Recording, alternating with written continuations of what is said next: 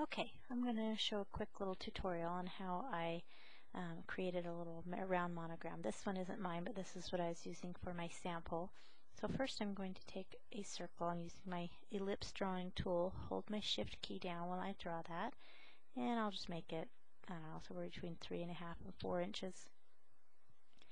And then I'm going to get my type tool over here. Just click down and type my initials and I the font impact so if you need to change the font you just highlight it and change your font over here.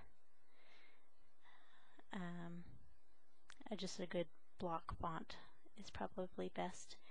Alright so I'm gonna kind of position that in the middle of the circle. I'm gonna hold my alt key while I drag the corner handles to make it all grow at the same time move, just keep repositioning it, um, make it taller by dragging a, a um, side handle. So I'm just going to play with it for a minute, keeping that M centered.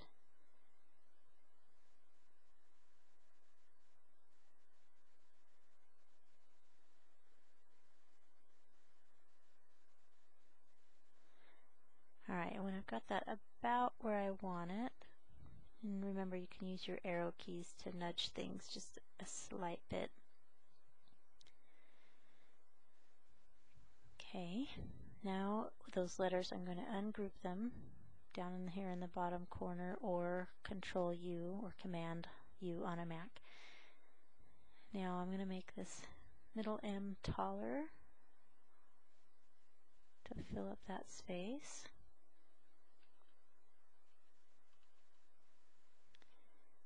My W needs to be narrowed down a little.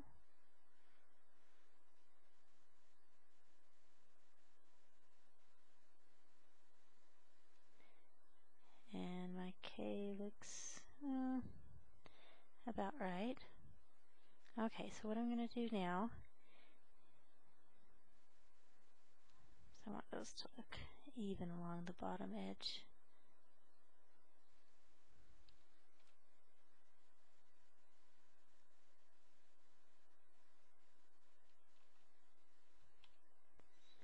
Okay.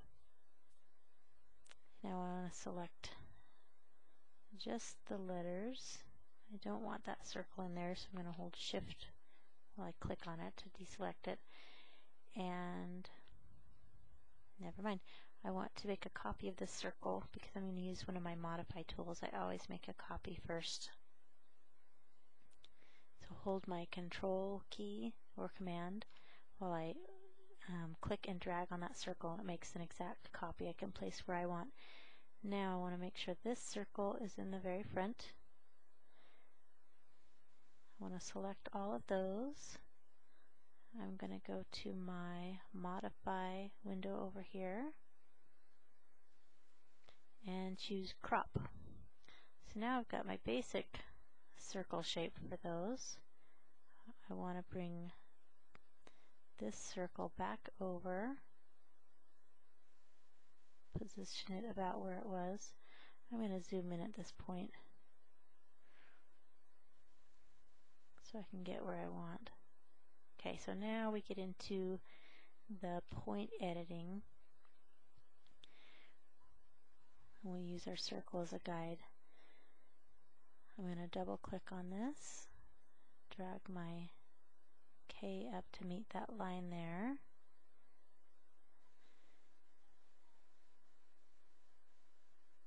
Also this one.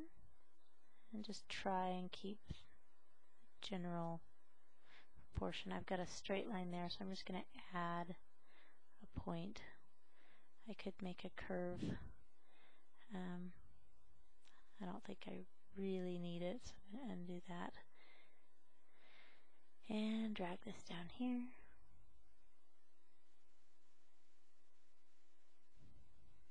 Same thing with the W. Just going to drag it to kind of fill that shape.